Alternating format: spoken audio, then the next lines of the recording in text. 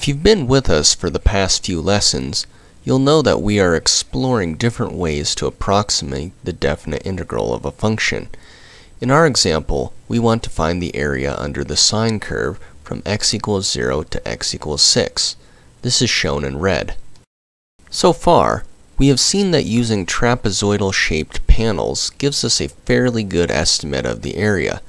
In the last lesson, we derived the trapezoid rule with end correction. That increased our accuracy from second order to fourth order. Now we're about to see what that looks like with actual numbers. The results of the past couple lessons are summarized here for reference. If you missed those, feel free to go back and watch them before we proceed. That will give a lot of context necessary to understand the rest of this lesson.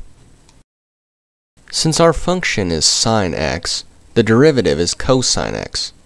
We may not always be so fortunate to easily differentiate the integrand, but for our example, this will serve as a good basis of comparison.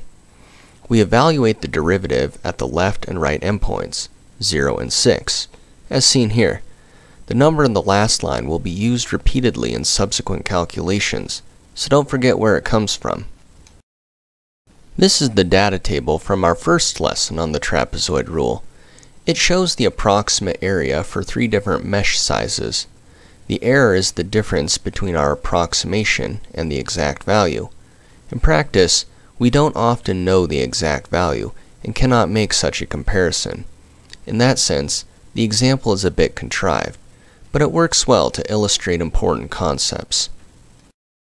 Since I've already calculated the area, shown in the red box, I just need to subtract off the end correction. That calculation is shown below, and the final answer is boxed in green. Now I repeat the same process for a different mesh size. Notice I am using the same value for end correction that we calculated a few slides back. Same thing for the last mesh size. Pause the video as necessary to follow along at a comfortable pace. That data I have compiled into this table. Although the calculations are not shown, I've added a fourth row and included a new mesh size. 0.125 is half of 0.25. The error is again the difference between our trapezoid rule, this time with end correction, and the exact value, which we have the rare luxury of knowing in this case. For reference, I have included data for the uncorrected trapezoid rule up top.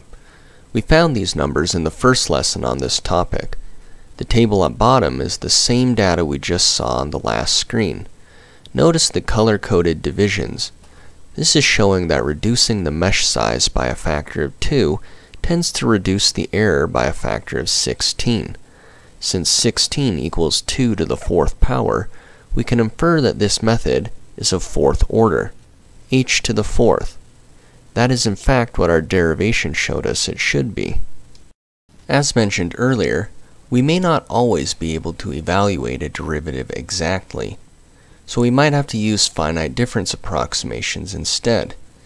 These were also covered in previous lessons, so you're welcome to check those out if you'd like more information on them. Here is shown a first order and second order approximation for both forward difference and backward difference. That was the general case. For six panels, these are the specific numbers to plug into the subscripts.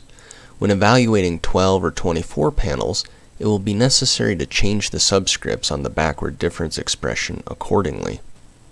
In case you forgot, we are going to plug in the data from these tables.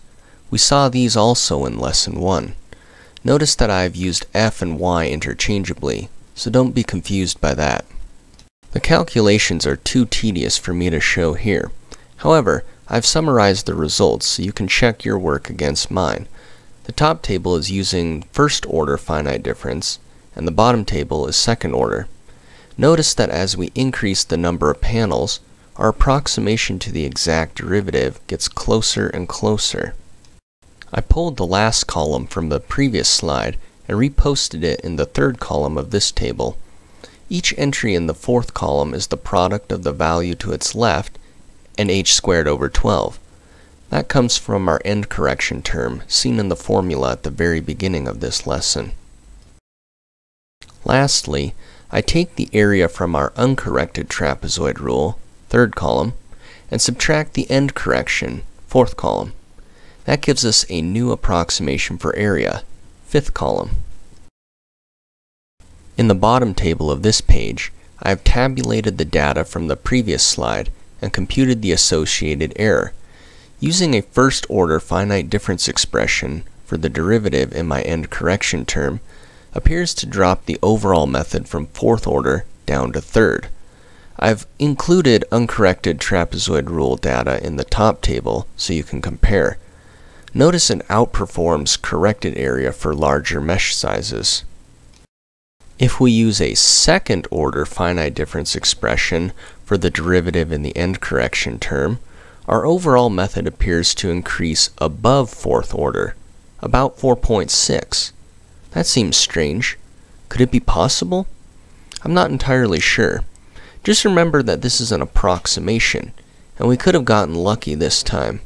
We would need more information before any definitive statements can be made. I'm going to leave it there for now. I hope you have seen how useful the trapezoid rule can be.